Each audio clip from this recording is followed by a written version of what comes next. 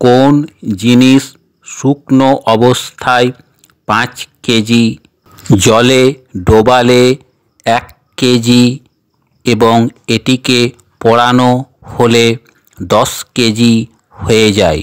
বলতে পারবেন, বন্ধুরা, সাধারণত শুকনো অবস্থায় কোনো জিনিস হালকা থাকে। জলে ভেজালে বা ডোবালে সেটি ভারী হয়ে যায়। কিন্তু আবার পোড়ালে সেটি হালকা হয়ে যায়। কিন্তু এক্ষেত্রে সবই উল্টো। জলে ডোবালে বা ভেজালে সেটি হালকা হয়ে যাচ্ছে, আবার পোড়ালে সেটি ভারী হয়ে যাচ্ছে। চলুন সঠিক উত্তরটি দেখে নিই। এর সঠিক উত্তর হবে সালফার।